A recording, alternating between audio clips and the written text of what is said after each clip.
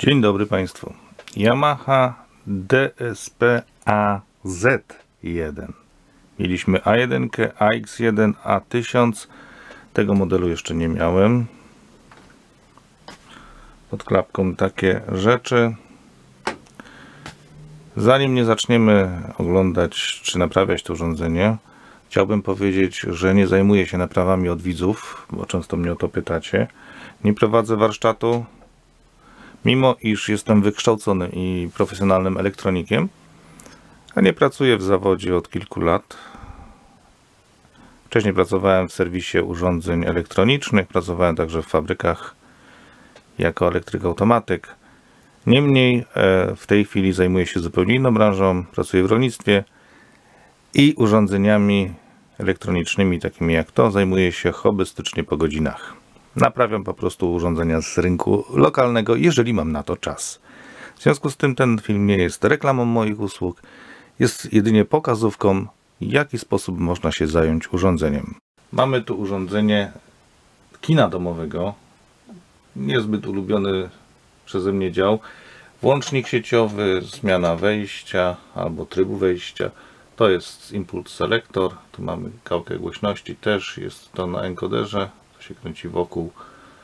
To też się kręci wokół. Jedynymi potencjometrami tutaj jest potencjometr balansu, sopranu i basu, ponieważ mamy wyczuwalne opory.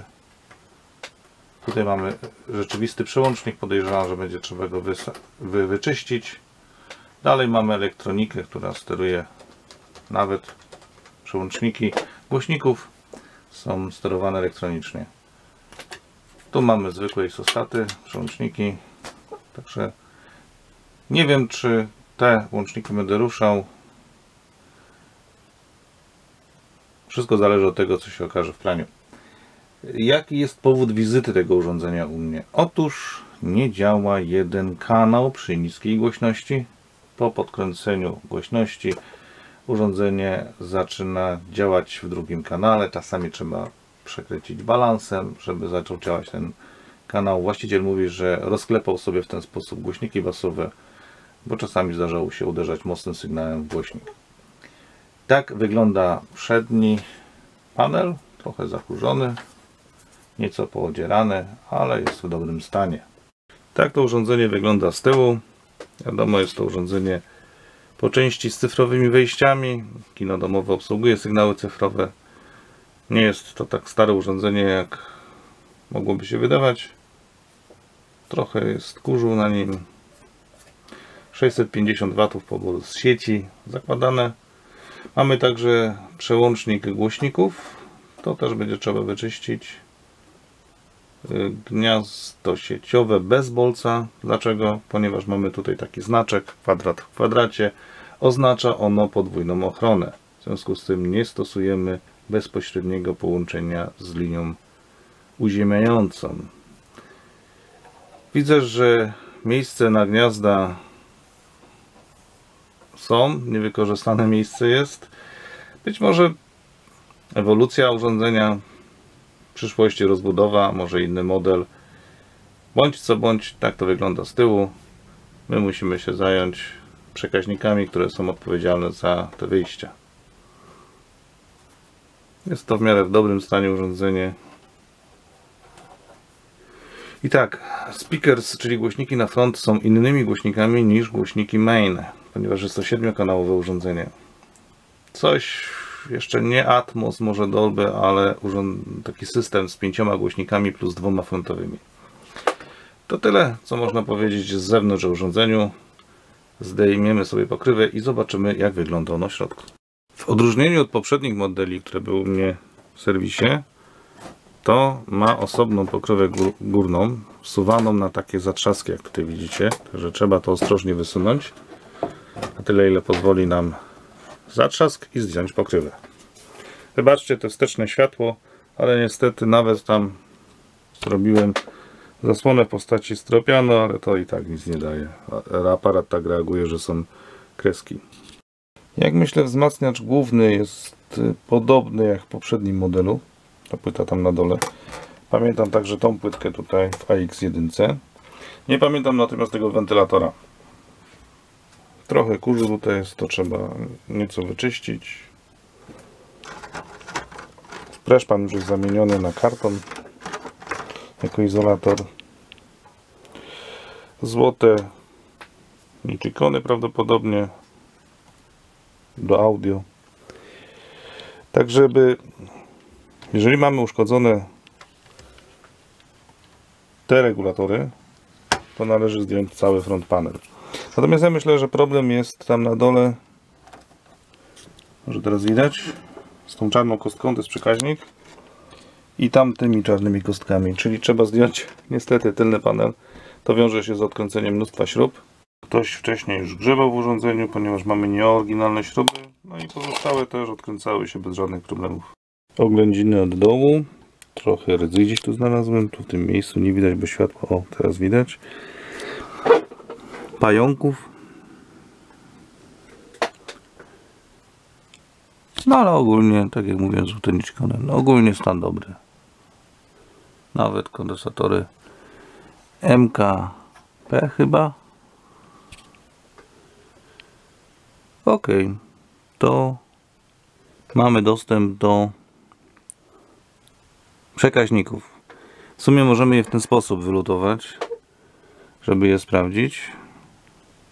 Ale najpierw muszę trochę omieścić to. To tutaj należałoby zabezpieczyć, bo to już niestety początek e, korozji. Jak widzicie, cało tutaj jest zjedzone. Tutaj też podkładową farbą po prostu zabezpieczę. Podłączyłem generator, podłączyłem sztuczne obciążenie. Na sztucznym obciążeniu będę badał sygnał, obserwował go po prostu. E, mamy wejście CD. Wybrane jest tutaj wejście CD w stereo analogu. Mm, Wolumen jest na minimum. I załączamy nam generator sygnałem 1 kHz. Nieco będziemy zwiększać. A, jeszcze jedną rzecz muszę zrobić. Wybrać sobie odpowiednie głośniki, tak? Załączyłem A. Jedziemy. I nic się nie dzieje. Jeszcze raz. Speakers A, analog stereo, CD na wejściu. Tu mamy CD podłączone, speakers A. No, czyli teraz zobaczmy. O, coś się dzieje.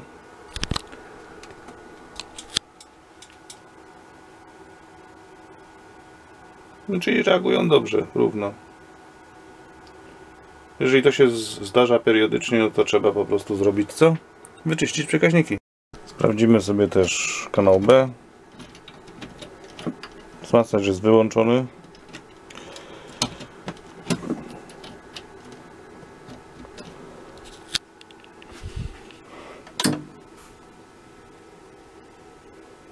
Załączyliśmy go.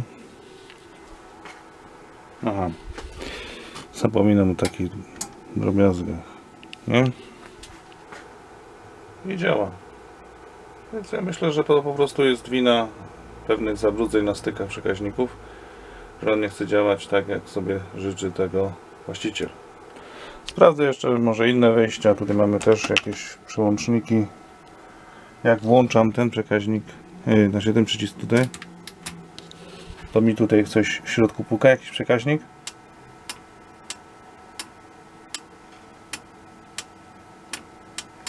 i trochę zmienia się sygnał. Natomiast jak drugi z przekaźników to jest przełącznik zwykły i się nic nie dzieje. Teraz balans. Balans działa dobrze. Regulator sopranu i regulator basu. Trochę zabrudzony może być. Widać jak się zmienia yy, prawy kanał, czyli żółty przebieg. Dobrze, to sobie pobadaliśmy. Tu nic więcej chyba nie ma do regulacji takich. O, może być to. To jest yy, wyjście na nagrywania. Tak, to jest wyjście nagrywania. Selektor wejść mamy tutaj. Prawdopodobnie elektroniczny jest, bo nic nie puka z pewnym opóźnieniem. O, coś nacisnąłem. To jest input mode. Aha, wyjście cyfrowe, wyjście analogowe. Dobra, wszystko wiem. Mamy na wyjście jakieś 10 watów. Zobaczę ile warte jest to urządzenie, bo mi ktoś zarzucił, że nie mierzy dokładnie, chociaż było kalibrowane. Generator, który był użyty do wzorcowania tego urządzenia miał zniekształcenia 1,1 i tak też instrukcja wzorcowania mówi. Mamy w tej chwili zakres 3 dziesiąte tutaj ten, tu widać to. Bierzemy dolną skalę, tu jest 1 dziesiąta, tu jest 90, 80, czyli możemy założyć, że to urządzenie mierzy poprawnie, ponieważ jego same wewnętrzne niedokładności są na poziomie 1,1%. Czyli zawsze, jeżeli nam pokazuje poniżej 1,1%, tak jak w tym przypadku możemy założyć, że to są e, zniekształcenia własne już, znaczy błędy tego urządzenia. Czyli dobrze, zawsze musi mi pokazać poniżej 1,1 w przypadku takich urządzeń. I to mi wystarcza. I taki pomiar uznaję za prawidłowy. Zresztą instrukcja o tym mówi.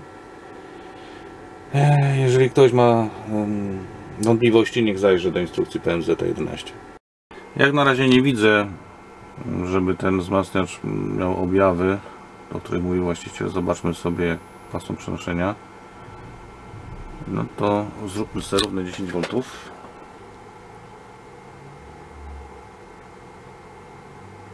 No trochę za dużo już. Ja sobie przygotuję te 10 V, żeby Was nie nudzić. Mamy te 10 V. Zobaczmy sobie 10 kHz.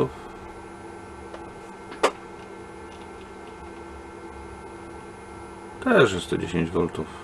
Trochę nierówno przenoszą te oba kanały.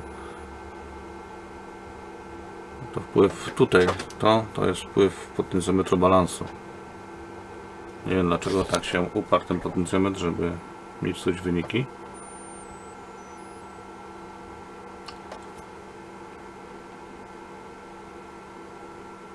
Ale ta, ta niedokładność, co tutaj widzicie, to jest szczegół. Czyli tak, 11 dycha. 20 30 40 50 kHz 60 kHz dobra to wystarczy. Dobrze.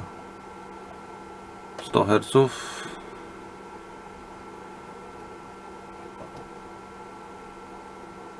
jedziemy na 10 W nie? no trochę ponad. Jest dobrze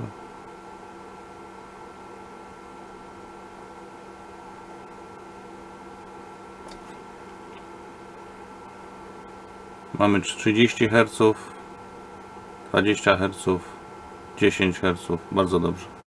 Wyczyszczę te wspomniane przekaźniki,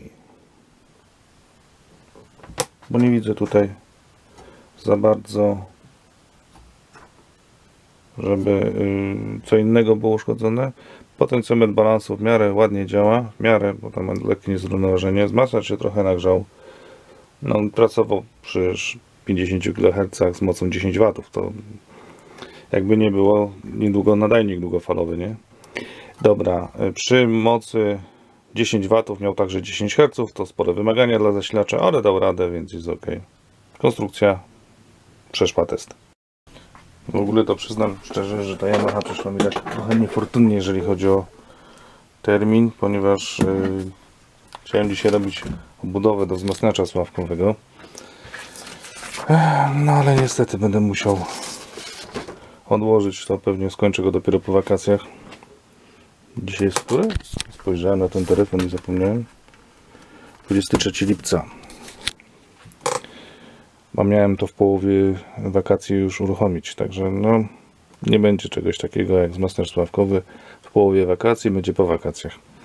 Yamaha ma takie punkty do ustalenia punktu prądu spoczynkowego. Jak widzicie są one różne dla różnych kanałów. Kanał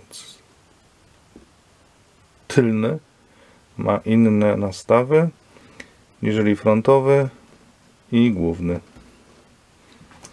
Ale to wynika zupełnie z tego, że mają inną moc. To sobie później sprawdzimy. Próbuję przez cały czas wywołać niegranie lewego kanału ale może to być e, na wejściu cyfrowym. Wtedy mielibyśmy jakiś problem zaraz za przetwornikiem cyfra analog. Więc będę musiał podać sygnał z jakiegoś źródła, co ma wyjście cyfrowe i wtedy sobie sprawdzić to. Bo analogo chodzi ładnie. Wyłączam głośnik po prostu, zestawy głośnikowe A, do których mam podłączone to tutaj. No i nie ma problemu. Direct. E, Poruszanie się tego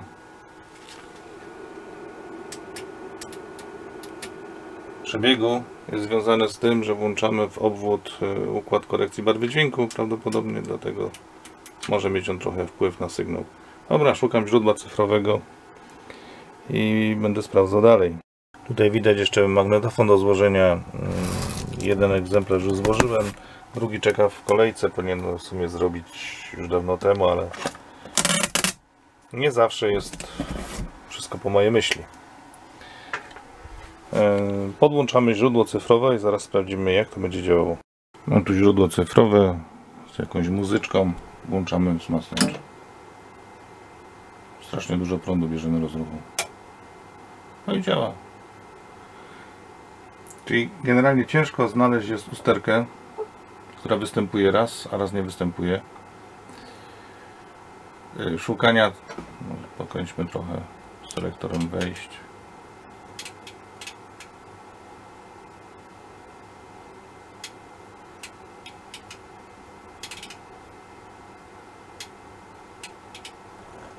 W tej chwili sprawdzam, co mamy za wejście.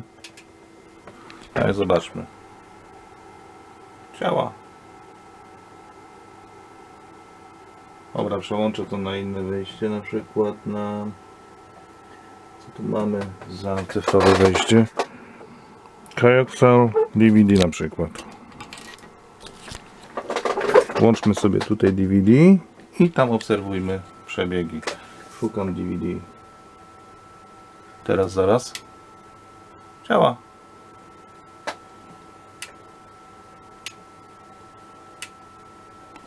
Takich przypadkach jak ten, kiedy usterka nie występuje przy serwisancie, no jest trudno ją znaleźć, w związku z tym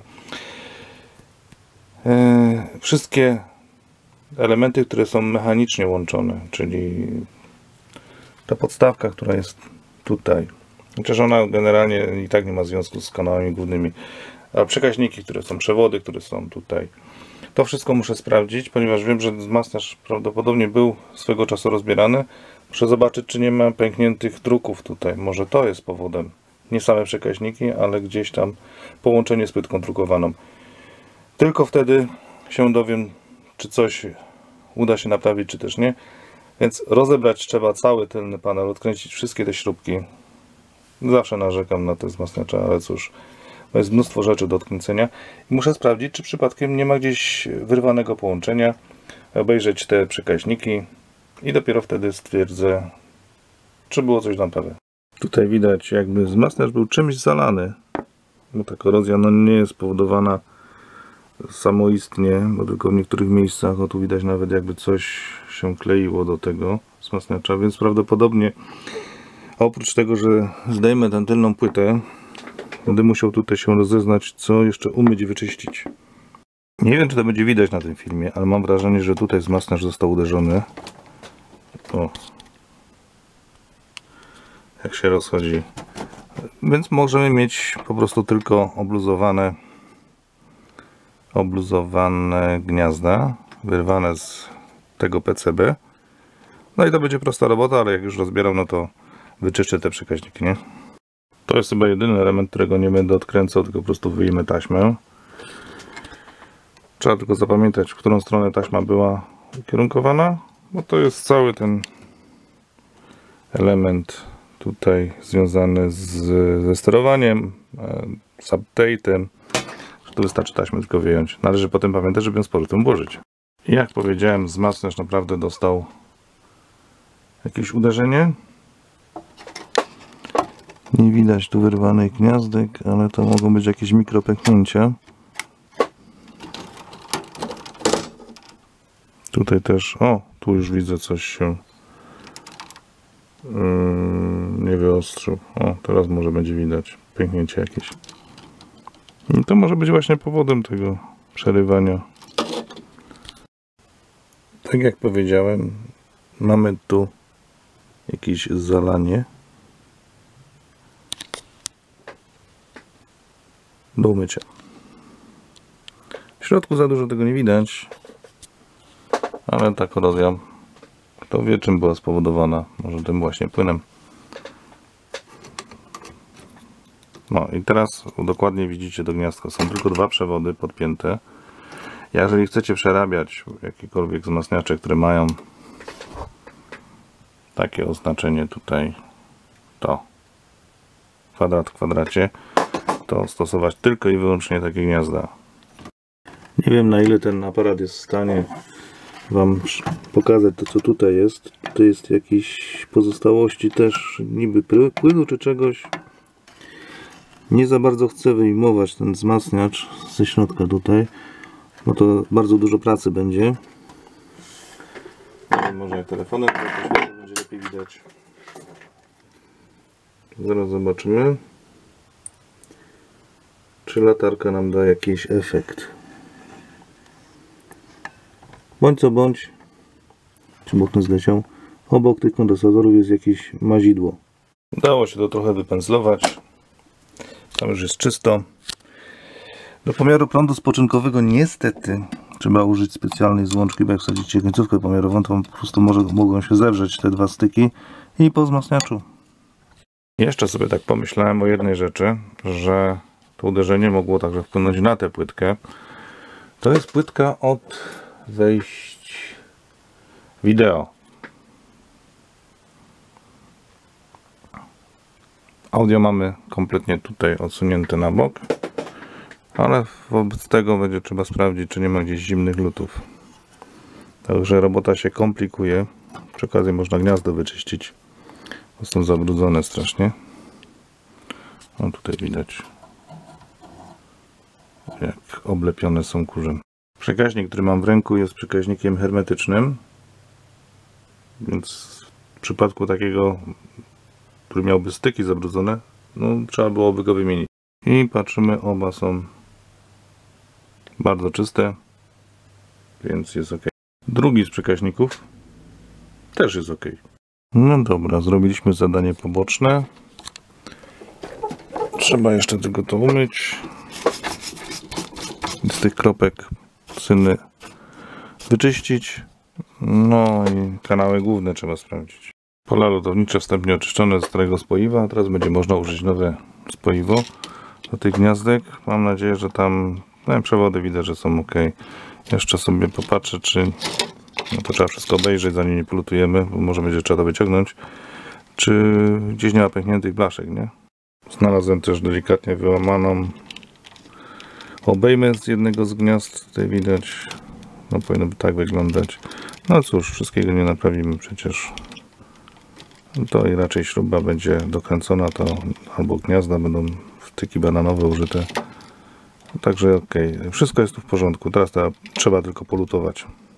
Gniazda mają złocone blaszki, więc są w miarę dobre. Tak sobie czyszczę te gniazdka i niestety spirytusem nie schodzi. Yy, acetonem nie ma co. To jedynie woda z mydłem, ciepła. Może to rozpuścić. Wyciągnąłem cały analogowy moduł. Tu trzeba sprawdzić to coś, co wygląda jak bateria, ale jest kondensatorem. Wyczyścić trochę, zobaczyć czy tutaj nie ma gdzieś pękniętych ścieżek. Może właśnie tutaj coś przerywa. To jest takie błądzenie po macku niestety, jeżeli usterka nie występuje przy serwisancie. Tak wygląda moduł analogowy. Potencjometry, przełączniki, takie tam podobne rzeczy. Przyznam, że mogliby mieć lepszą kontrolę jakości. Tu kuleczki, tu kuleczki, tu kuleczki cyny. Tutaj też gdzieś widziałem, już mi się nie chce tego szukać. Umyłem sobie te elementy, tranzystory, nóżki, o tutaj też kuleczka cyny. To wszystko może być, spowodować zwarcie. Umyłem sobie to, ponieważ chciałem zobaczyć w jakim stanie są spoiwa i nie można narzekać na to. Natomiast płytkę trzeba tak czy siak wyczyścić, bo no, takie kuleczki cyny mogą spowodować poważną awarię. przepięcie jakieś albo coś. No, bądź co bądź sobie później to zrobię. O, tutaj też. To jest coś, co może spowodować poważną awarię sprzętu.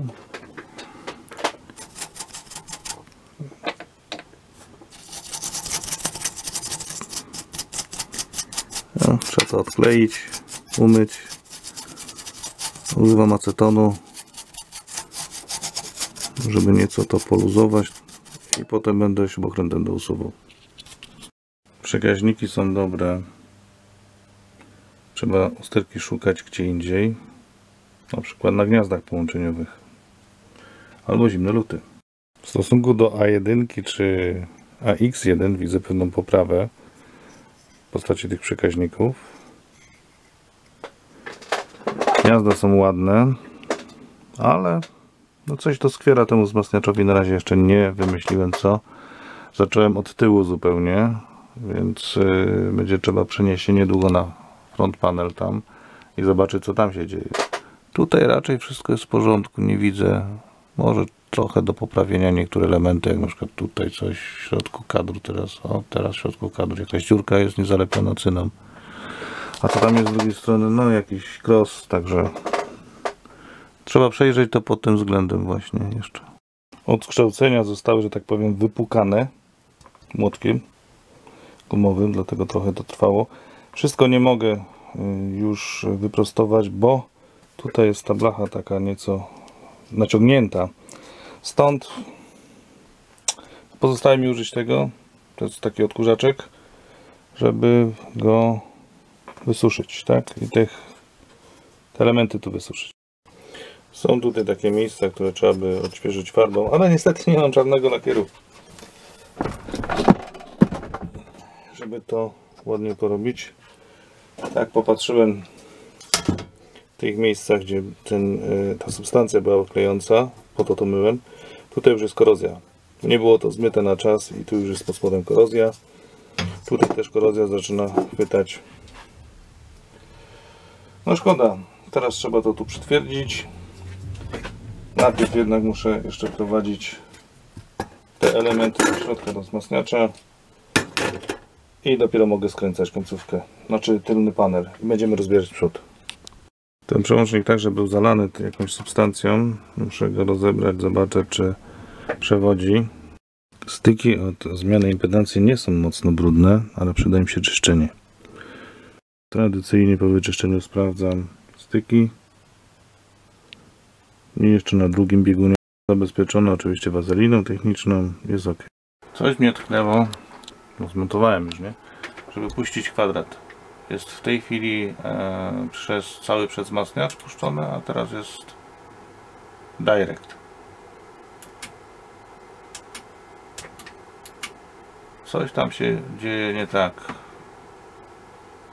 z jednym kanałem i to w kwestii przezmacniacza raczej. Więc możemy jeszcze sprawdzić ten przodek tutaj z regulatorami barwy. Może jakiś tranzystor. No to wyraźnie widać, że ten 1 kHz na lewym kanale nie gra zbyt ładnie. To jest 10 kHz kwadrat.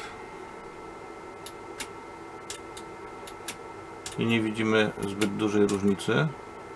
To jest 100 Hz kwadrat. Przejście przez regulator direct. Coś nam się wzbudza na niskich częstotliwościach. To jest y, bus extension.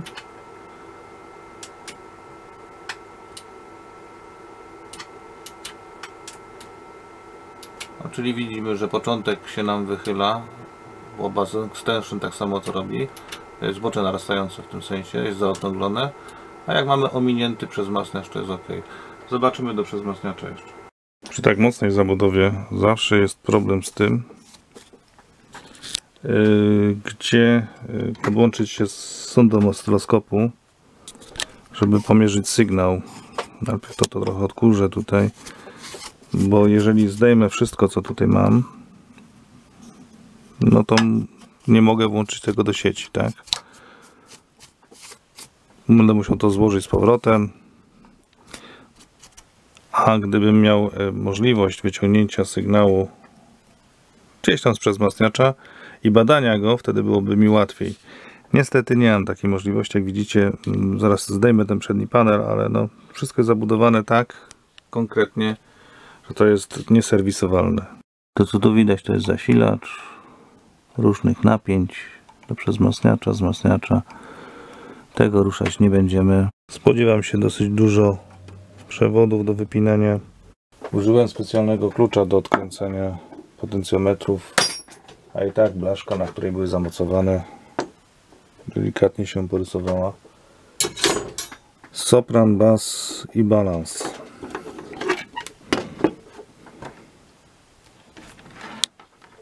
Sopran. Już dziwne. Aha. Nie no, położenie środkowe. Ten też położenie środkowe. Wszystkie są w położeniu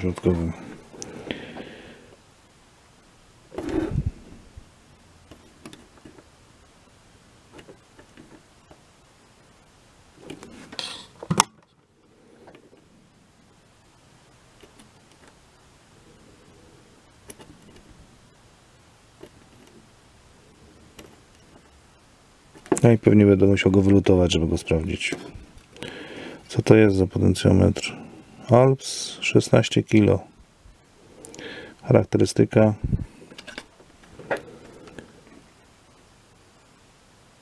Nie mogę tego przeczytać. X2.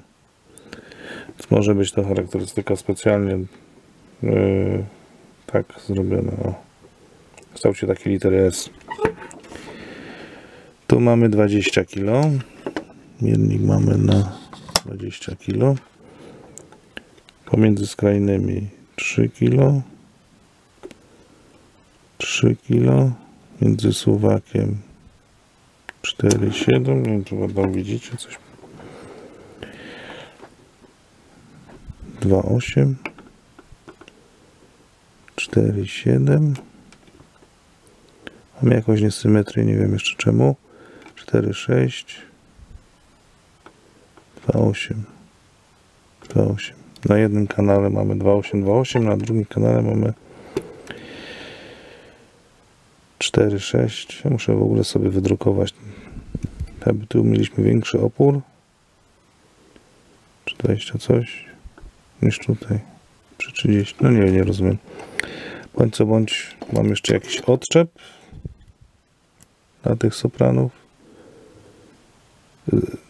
tak, odczep, jak się przyjrzymy, widzimy, że odczep jest w tym miejscu, gdzie suwak dochodzi, to jest jakieś położenie 0.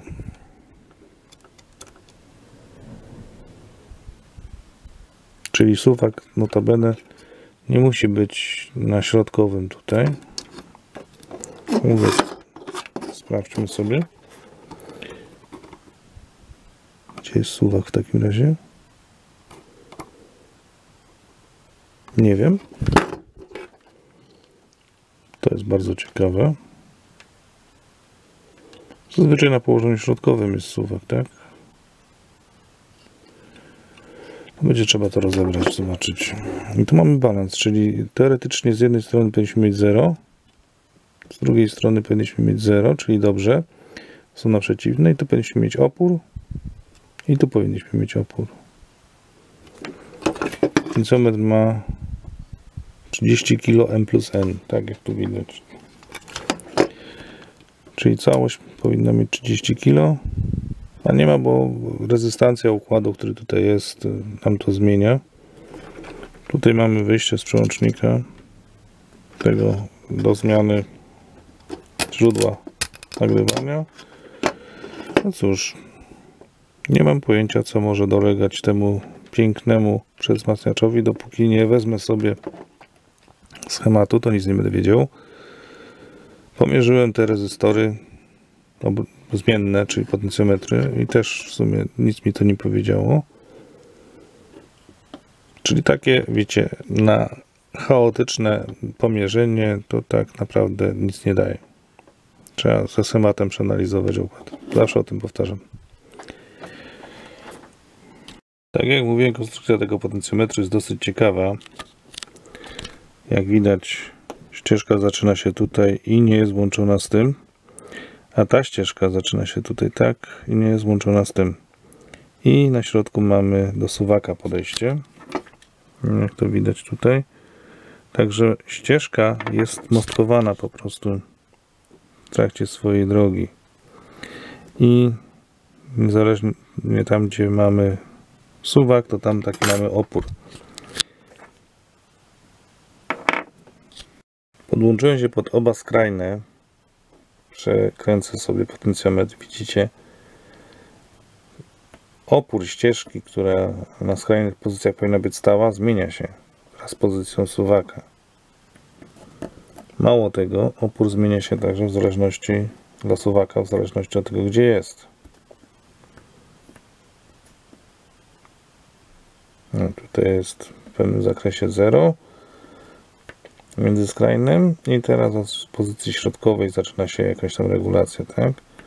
Podejrzewam, że jak przełączymy się na tą stronę, to właśnie w tę stronę co kręcę mamy 0 i od pozycji środkowej będzie opór. Tak. Przycisk, który nazywa się procesor Direct, uruchamia ten przekaźnik. Tu mamy tranzystor wykonawczy. Uruchamiający nam przekaźnik, przekaźnik łapie nam i albo mamy bezpośrednio do wyjścia, albo przechodzi nam przez płytkę regulatora barwy dźwięku. Jeżeli po przełączeniu między Direct a normalnym mamy zniekształcenie w jednym kanale, to najprawdopodobniej uszkodzenie mamy, czy tam może niedopasowanie elementów gdzieś na tej płytce.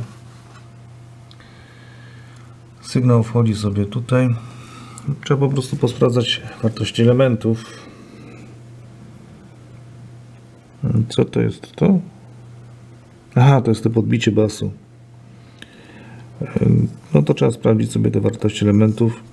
Tych, tych wzmacniaczy operacyjnych raczej nie podejrzewam. Tutaj mamy podmicometr basu o takiej dziwnej charakterystyce, o jak on jest zbudowany. Widać jak jest y, złożony, jak jest złożony. Y, to jest ta właśnie dziwna charakterystyka. Jedna ścieżka i druga ścieżka zwierana suwakiem. E, dalej mamy potencjometr od sopranu, on jest z odczepem. No i regulator balansu. No i wyjście, tak jak mówiłem. Tutaj mamy przełącznik do wzmacniacza sławkowego. Otwarte okno, wybaczcie. Bo na parapecie to właśnie tutaj e, oglądam. I to jest tak, sygnał idzie sobie tutaj. Tym wyprowadzeniem to jest wejście na wzmacniacz sławkowy. To mamy wyjście bezpośrednio z tego tutaj. Czyli na sławki też idzie, tylko że sygnał nie jest przełączany przekaźnikiem, a takim po prostu zwykłym przełącznikiem. A ten styk nam zwiera właśnie przekaźnik na tamtej płytce. E, gdzie mamy szukać? Wartości elementów musimy sprawdzić. Jeżeli wartości elementów będą takie same w lewym i prawym kanale, rezystory będą takie same, to prawdopodobnie może być uszkodzenie jednego kanału, może być za duże wzmocnienie po prostu w wzmacniaczu operacyjnym. Jako, że robota nie obejmuje tego, a to jest po prostu jakieś tam zadanie poboczne, to tych wzmacniaczy operacyjnych wymieniać nie będę. A jeżeli uda się znaleźć jakiś tam kondensator czy rezystor z jakąś uchybioną wartością i będę mieć taki w zestawie, no to wtedy to wymienię. Naszło mnie, że muszę tę płytkę przed wzmacniacza wyjąć jeszcze raz. Nie będę tego odkręcał, tego panelu tylnego, spróbuję wyjąć ją w inny sposób i ten przekaźnik wyczyścić, bo właśnie on mógł spowodować brak sygnału w lewym czy prawym kanale. Ja się muszę szczerze przyznać, że po prostu zapomniałem o tym przekaźniku, jak miałem wyciągniętą tą płytkę na zewnątrz. Oznacza to, że muszę znowu poświęcić czas, no, za który nie policzę żadnych pieniędzy, żeby tą płytkę wyjąć, wyczyścić ten przekaźnik i złożyć go z powrotem. Po prostu zapomniałem. Ale jak powiedziałem gdzieś wcześniej, zapewnik przyjmuje to, że elementy stykowe spowodowały awarię, o której wspomniał klient, a ta awaria u mnie po prostu nie występuje i nie mogłem wzmacniacza przyłapać na tym, że nie podaje sygnał na jeden z kanałów. Sprawdzałem wejścia cyfrowe było ok, analogowe było ok. Jedynie ten element, jeżeli nie przełączy nam prawidłowo, któreś ze styków są zabrudzone, no to nie mamy sygnału ani sprzed wzmacniacza, który jest regulatorem barwy dźwięku, ani bezpośrednio z regulatora głośności, tak? Bo jeżeli styki są zabrudzone, to ani te nie będą działały sygnały, ani te sygnały nie będą działały. Nie przedostaną się na wyjście. Upatruję tylko tutaj w tej chwili. Po sprawdzeniu sobie końcówek, gdzie mamy hermetyczne przekaźniki i sprawdziłem ich kondycję, jest wszystko ok. Tam trochę ponaprawiałem na tylnym panelu elementów. No, Został mi tylko ten przekaźnik, bo regulator barwy dźwięku, jakby nie było, oprócz tej jednej wady, co tam jest y, to zniekształcenie delikatne, dodanie grubego dźwięku, no to nie widzę tutaj innego elementu, który mógłby powodować taką sterkę. Tutaj mamy jeszcze takie specyficzne gniazdka. Jest to main in pre out jest zwarte, tak? Tu mamy main in, tu mamy jak to tam jest? Nie, tu mamy out, a tu mamy in.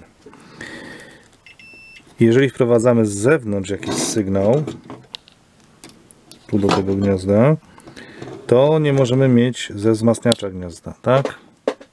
Ci dowolny jack, lejaki. Zobaczcie, co się wtedy dzieje. Rzeczywiście sygnał jest rozłączony. Wystarczy, że wyjmę tego. Cincha i jak widać teraz tak. Sygnał o łączy się z tym.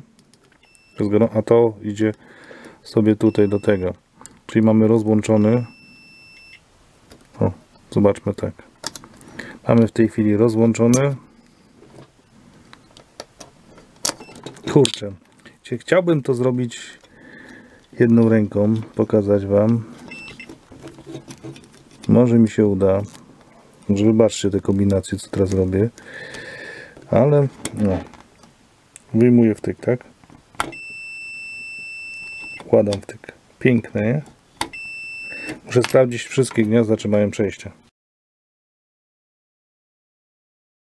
Nie wiem, czy aparat to uchwyci w tych warunkach oświetleniowych ogólnie, ale tam no nie uchwyci.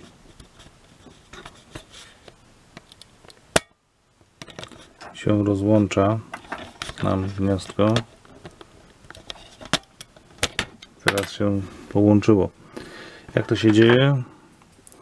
Tutaj ta blaszka jest ruchoma i dotyka do tej drugiej blaszki. Teraz wam pokażę z drugiej strony jak to wygląda. O, widać ta blaszka, którą widzicie w centrum kadru, w tym otworze, ona pod wpływem włożenia tego wtyku powoduje, że tam się rozłącza nam styk tutaj.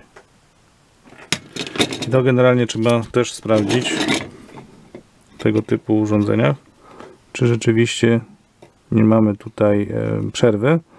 No może się okazać, że dlatego nam nie gra jeden kanał, tak? Podłączyłem przekaźnik. Drugi kanał to samo świruje.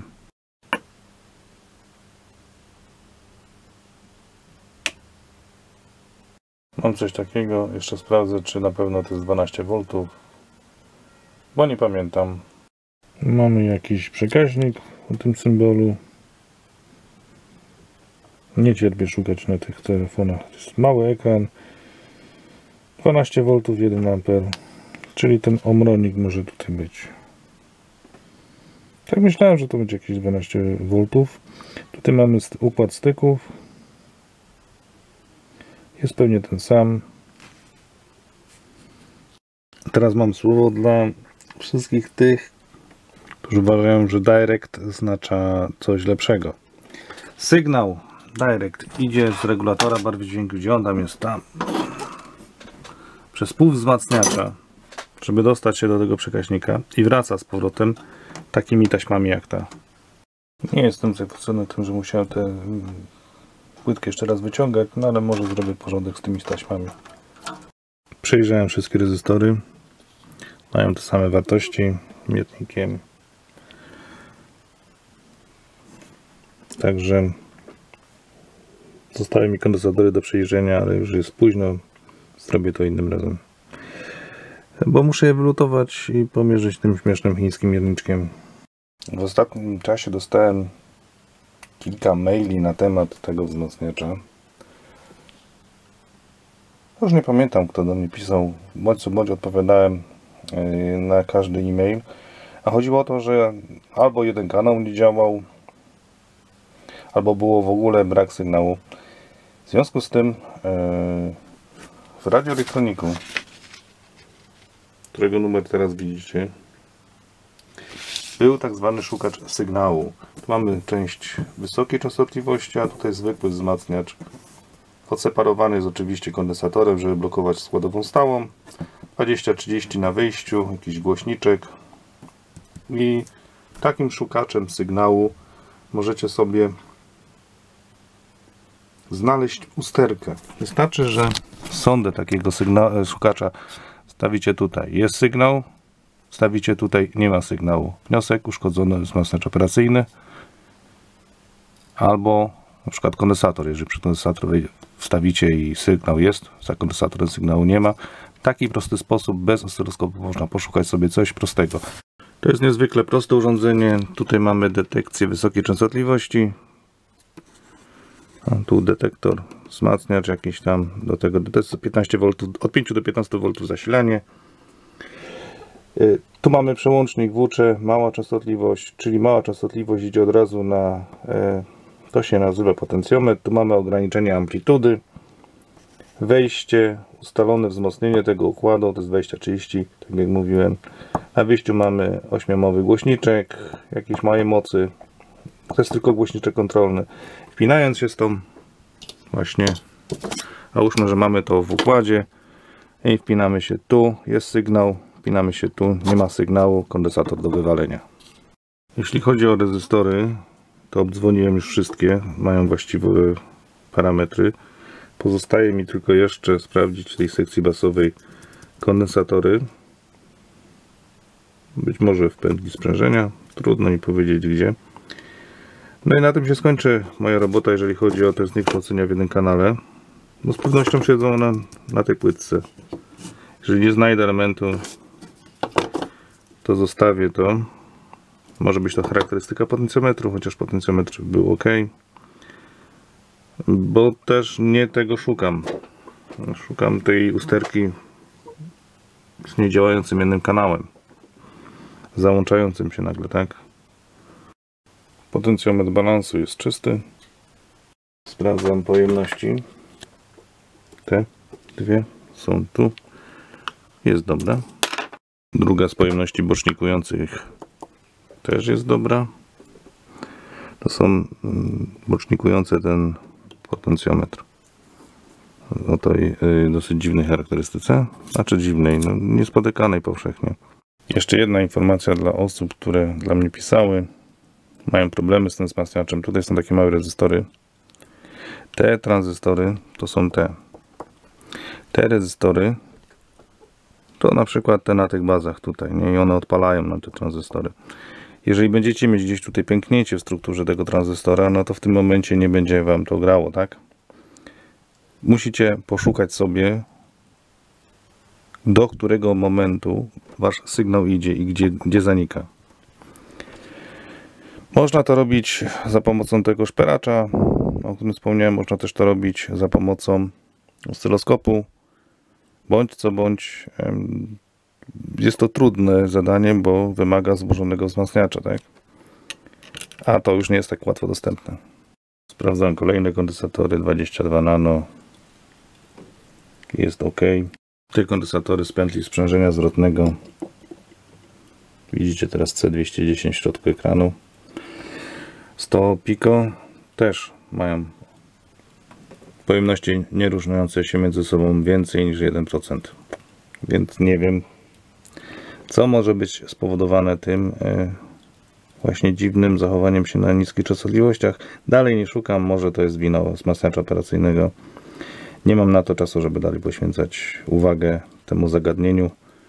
Mam do zrobienia co innego, więc składam ten front panel i robię testy. Zapomniałem jeszcze o tych,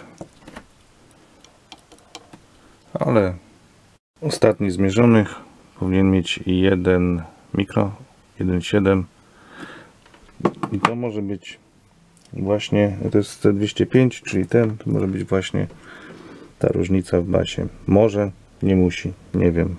I żeby było równo, no to niestety trzeba wymienić dwa kondensatory w obu kanałach. Charakterystyka też mogła się nieco zmienić przez zabrudzone styki. Tutaj widać właśnie jak one wyglądają. Te blaszki trzeba zdjąć tam w środku. O, widać jakieś zaczernione. Zastanawia mnie też czym to jest pomazane. Jak widzicie tu jest jakaś substancja na tych blaszkach. Raczej tłuste to jest niż, niż woda. Może jakiś tam ochronny syrop. Albo po prostu coś ktoś kiedyś psiknął do środka. Jak zwykle robię kontrolę styków. Ten przyrządzik się nadaje do tego, więc jeżeli wszystkie położenia i wszystkie styki są ok, to mogę uznać, że robota jest dobra. To jest błąd miernika. Ewentualnie rezystancja na tym zacisku, na tym krokodylku. Dobra, jedna część wyczyszczona, jeszcze został tamten. Tamten przełącza w sumie przekaźnikiem, ale też załącza nam, jak widzicie pod tym przyciskiem, wzmacniacz sławkowy. Tym drugim prawie nie ma co czyścić, ale skrajne są nieco zabrudzone. I teraz tak. Który z nich przełącza nam przekaźnik? Pierwsze przełączają przekaźnik, a drugie przełączają nam ścieżkę na wzmacniacz sławkowy. To widać po czym ta sekcja jest cała zmostkowana.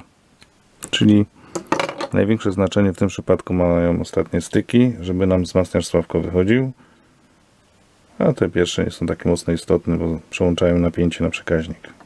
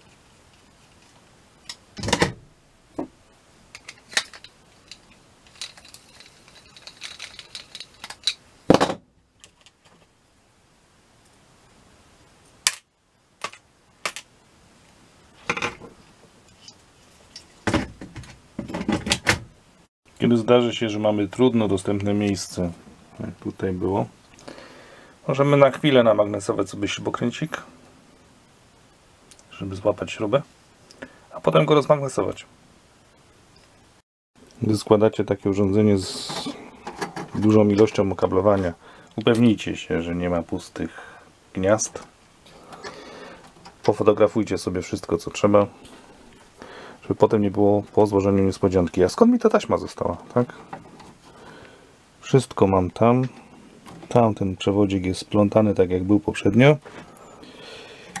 Tutaj są pochytane taśmy. Tam jest taki przewodzik Przewód tutaj też wszystko. Moim zdaniem powinien iść jakoś trochę inaczej. Mogę go ewentualnie przesunąć, ale te taśmę będzie haczył. Nie wiem co to jest. Dziwnie wygląda. Bądź co bądź. Tak jakby tu było lakierowane. Szpachlowane. Nie mam pojęcia. Lekko umyłem ten front, ale tu jest jakaś substancja. O, tu widać takie kropki. Nie wiem, co to jest za substancja, nie mogę jej zmyć. O, tutaj też widać kropki. Nie wiem, co to jest. Próbowałem na ciepło, też nie schodzi. Wodą. Wodą ze środkiem piorącym też nie schodzi, więc zostawię. Na wyświetlaczu też jakieś takie o, kropeczki są. Dobra, urządzenie złożone. Tylko pokrywy górnej nie składałem. Wszystkie gałki się ładnie kręcą.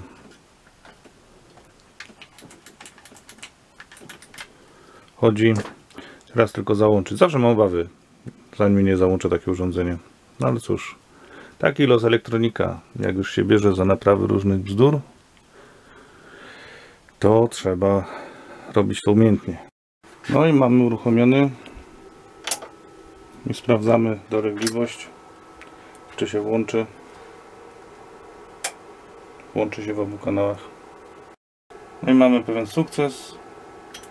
Source Direct yy, wciśnięte teraz wyciśnięte czyli udało się naprawić te uszkodzenie w zakresie basów jak widzicie częstotliwość to to jest 100 Hz możemy podnieść trochę